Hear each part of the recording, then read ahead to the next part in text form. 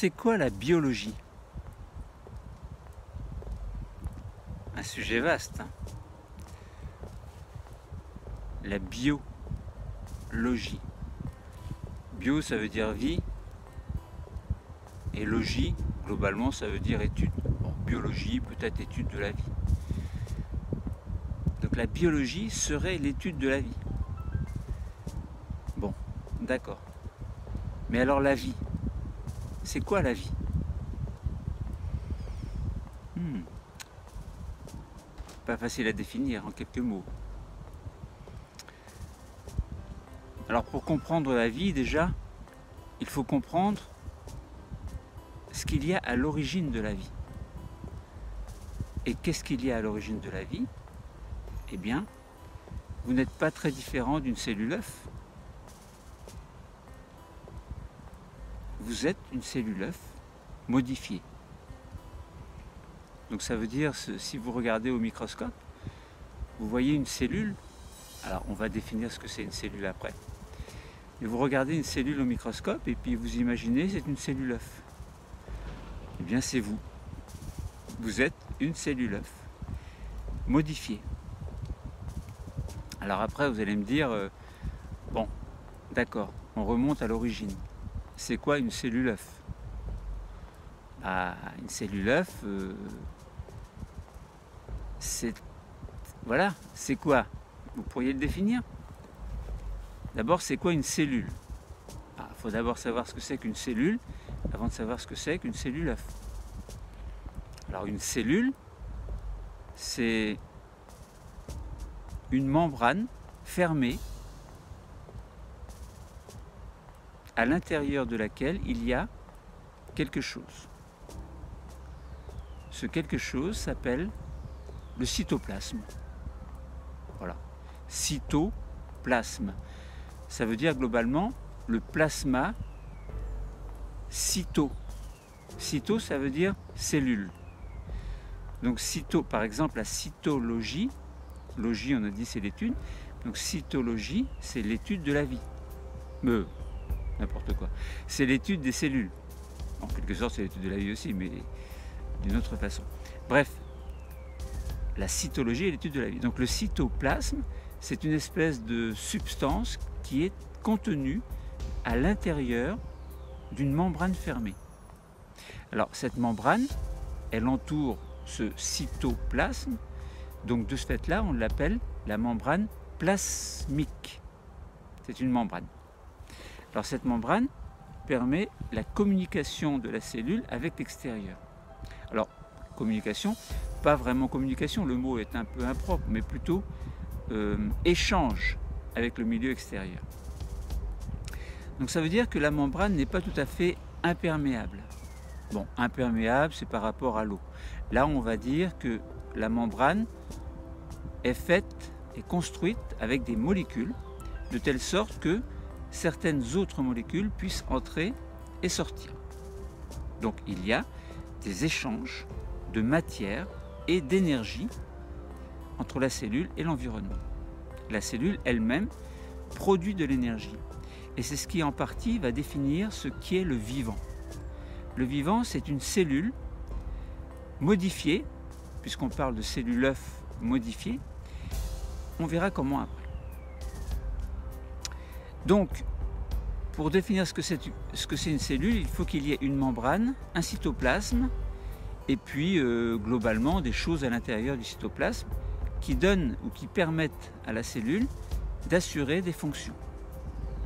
Autrement dit, la cellule, c'est une structure, c'est une petite unité structurale à l'intérieur de laquelle il y a des, des fonctions et on parle d'unité fonctionnelle. Donc la cellule, c'est une unité structurale et fonctionnelle.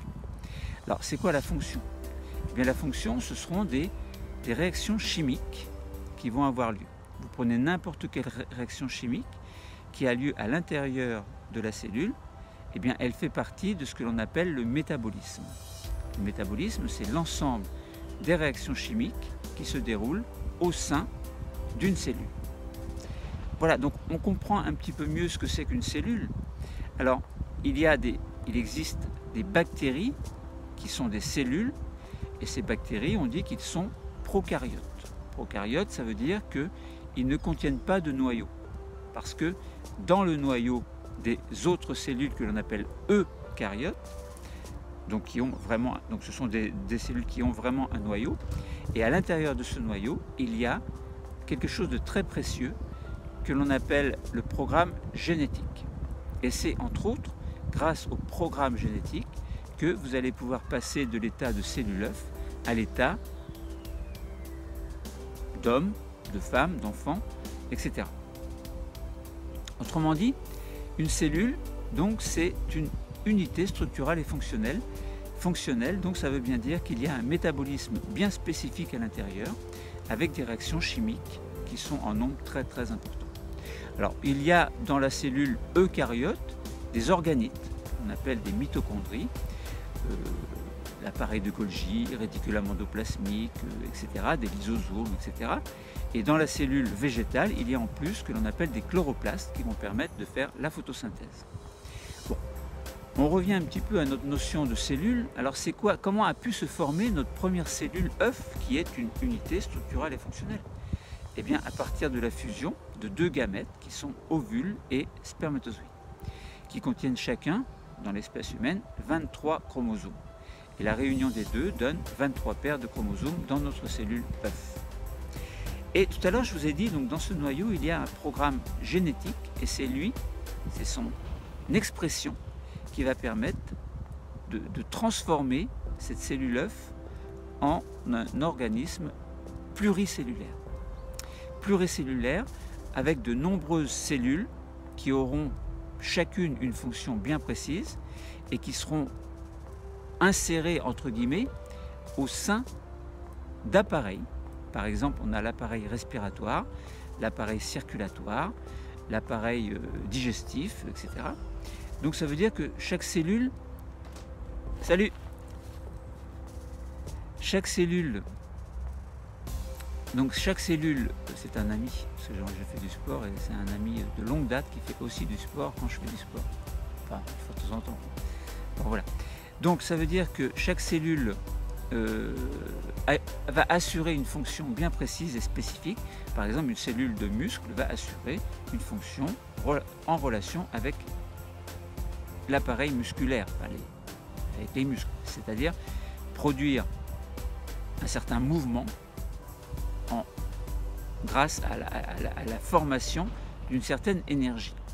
Alors après, vous allez me dire d'où vient l'énergie? L'énergie, c'est tout simple. Hein, vous avez l'appareil respiratoire et l'appareil digestif. Quel est leur rôle? Eh bien, le rôle de l'appareil respiratoire, c'est d'assurer l'entrée de dioxygène dans le sang via les cellules, par exemple les cellules musculaires, et en même temps de rejeter le dioxyde de carbone qui ne sert plus à rien. Et entre parenthèses, le dioxyde de carbone, lui, sera euh, accepté par les cellules végétales qui vont assurer la photosynthèse. Et l'appareil digestif, quant à lui, eh bien, il est, euh, sa fonction principale, eh bien, c'est de produire des, des, des nutriments, c'est-à-dire de très petites molécules provenant de la digestion d'aliments et qui vont passer dans le sang via les cellules. Entre autres, le glucose, par exemple, est un nutriment qui va aller dans les cellules, par exemple les cellules musculaires. Le dioxygène s'y trouvant déjà ou arrivant en même temps, eh bien ce glucose va être oxydé par le dioxygène et il y aura une production d'énergie qui permettra à la cellule musculaire d'assurer sa fonction relative à un mouvement et l'ensemble des cellules qui fonctionnent concernant un muscle bien précis va permettre de faire un mouvement bien précis. Donc on a dit une cellule, c'est une structure, une unité structurelle et fonctionnelle. La cellule œuf provient de l'union, donc d'une fécondation entre un ovule et un spermatozoïde, chacun apportant son patrimoine génétique. Et cette cellule œuf, de ce fait, elle va devoir donner un organisme. Donc la biologie, c'est un petit peu ça, c'est un petit peu euh, l'étude d'une cellule de départ qui va donner la vie. C'est-à-dire une cellule œuf, par exemple, concernant les mammifères, les, nous, les êtres humains, bah, on vit parce que il y avait à l'origine une cellule qui, qui, avait assuré une fonction un métabolisme à l'intérieur d'une structure. Alors la vie, c'est quelque chose qui ressemble à ça, mais bien mieux que ça encore. Cette cellule œuf, par division cellulaire, va donner deux cellules. Chacune de ces cellules va se rediviser en quatre, en deux, et on va obtenir 4 cellules, puis 8, 16, 32, 64, etc., jusqu'à former un organisme pluricellulaire avec des milliards de cellules qui auront chacune une fonction bien précise. Donc la vie, on voit qu'elle elle vient d'une cellule œuf, elle provient d'une cellule œuf qui va, grâce à sa descendance, donner un organisme qui aura, alors là, euh, je m'enfonce dans le système nerveux au niveau de la conscience, qui va donner une certaine conscience au cerveau, donc à l'organisme entier, une certaine conscience que l'on existe, que la vie existe. Alors, je vais vous laisser réfléchir à, ce que je viens de vous dire. Je ne voudrais pas que la vidéo soit trop longue, il y a beaucoup, beaucoup de choses à dire. Mais essayez de réfléchir et d'aller plus loin que ce que je vous ai expliqué en essayant de comprendre ce que c'est que la vie au niveau du cerveau au niveau des relations entre les neurones. Les neurones sont des cellules qui font partie du système nerveux. Donc le cerveau, hein, la moelle épinière, l'encéphale, etc., font partie du système nerveux. Et à l'intérieur, il y a des cellules qui sont spécialisées, donc qui ont un programme génétique bien précis. Alors essayez de réfléchir. Hein. je, vous, je, vous, ai amorcé le problème, donc c'est quoi la vie? Je vous ai donné des arguments, éléments de réponse, et bien maintenant à votre niveau, vous, en tant qu'organisme euh, conçu grâce à l'expression, euh, alors est-ce qu'on peut dire expression de la cellule œuf, plutôt la transformation de la cellule œuf, ou plutôt la mise en place du programme génétique dans la cellule œuf, eh bien essayez de comprendre, d'avoir conscience de ce qu'est vraiment la vie. Et posez-vous la question, aussi pourquoi est-ce que je suis aussi une cellule œuf Et pourquoi est-ce que la cellule œuf est aussi un organisme entier Quelles sont les étapes qui ont permis de passer de l'un ou de l'une à l'autre ou de l'un à l'autre Parce qu'il ne faut, faut, pas oublier que l'organisme qui provient d'une cellule œuf lui-même est capable de produire des gamètes qui, à leur tour, vont, vont prolonger la vie bien au-delà de l'organisme grâce à l'évolution, hein, les choses se sont transformées.